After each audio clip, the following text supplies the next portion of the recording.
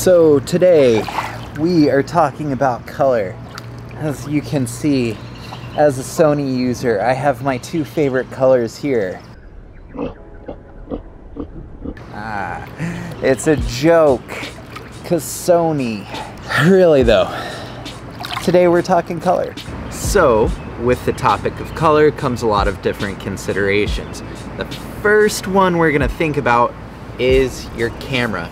Now, in your camera, you have something called white balance, and that white balance is gonna affect the initial color of how everything looks. See right now, my white balance is zeroed out, and that's normally how I like to shoot because I like everything to look kind of how it looks. And then if I need to retouch it, I can in post. But something you need to realize is your vision. When you go out and shoot, how do you picture these pictures looking? I said picture a lot. Now, a lot of different photographers use a lot of different tools to measure color balance, white balance, and see how to get the most accurate color. Personally, I've always been a big fan of do what you think looks good. So really the only thing that's left for you to do in the camera is to go to your white balance and check all the settings. Literally take it out during sunset, take it out during the normal hours of the day, and just see what colors you like.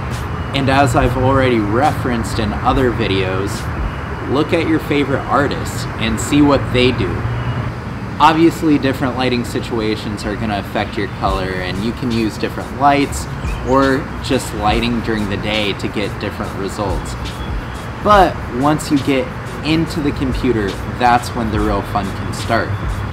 You have your image in your computer, you have properly lit it, you have properly edited the lighting because you want to do that first, and now it is time to color.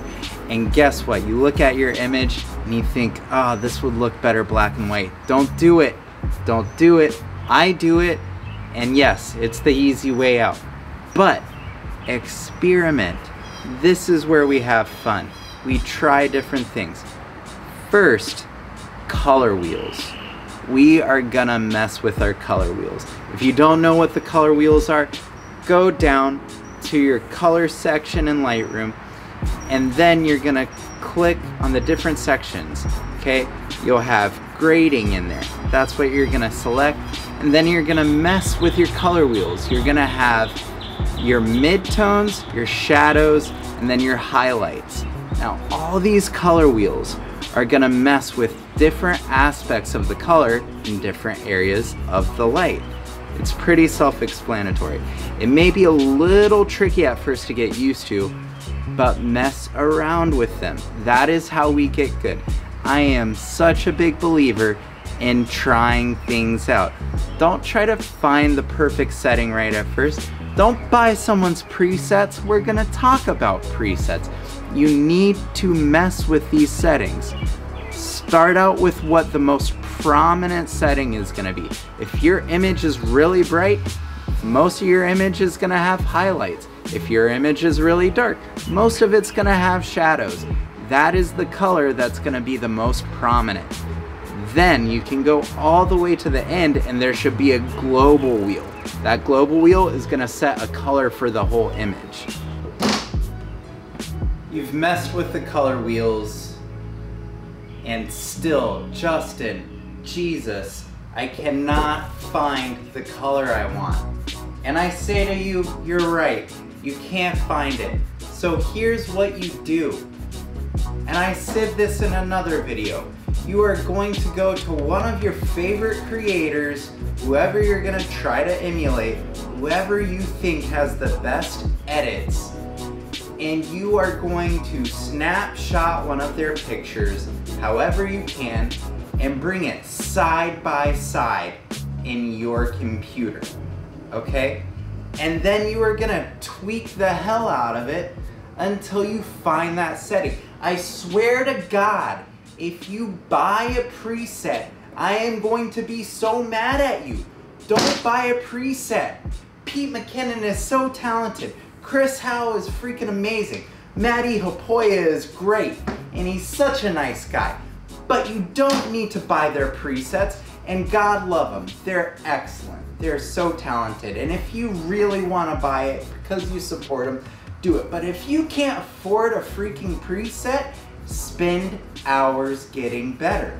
Now, I'm not gonna try to tell you to hustle to get better and you've gotta spend endless nights doing this, but you kinda do. You kinda do. So take a picture, put it next to your picture, and edit until they look similar. That means, again, messing with your color wheels, messing with your tint, that green and purple slider, messing with your color temperature, that yellow and blue slider. These are all things that are gonna make your color a little more different, a little more interesting. And as you mess with those, I guarantee you put in the hours, you're gonna get it. Now, the last thing I wanna say is in talking about presets, once you start to get good enough, you can create your own preset. It's not even that crazy. All you do is go to the bottom of your page, bottom right hand corner. I know it's to the left for you guys, bottom right hand corner, and then you're gonna see preset. Hit preset, and then you're gonna see three little dots because you haven't created a preset yet. You're gonna hit that dot and it's gonna let you create a preset from the image that you have. And then you can just click that and edit all the time using that preset. It's amazing. And let's say you're editing a bunch of pictures, either from a family shoot or from a wedding. You can just go to the side, hit those three dots, and then you can create a preset within all those pictures just by simply copying and pasting that edit onto all your photos. It's great, it's amazing, it's easy, but you can do it. Oh.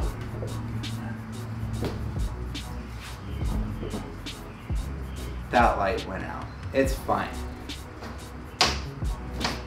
Mess with your color wheels. Mess with your color temperature.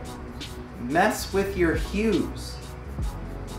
And here's why I can't tell you to do a specific thing, and here's why you pay for all these things. Because there is no formula. There is a formula for your style. And once you find your style, great. But you shouldn't buy the preset because really styles change all the time. Create your own. Do your own thing. Find happiness in your style. That's it. That's all I got. I love you guys. I'll see you guys next week. Thank you for watching. Peace.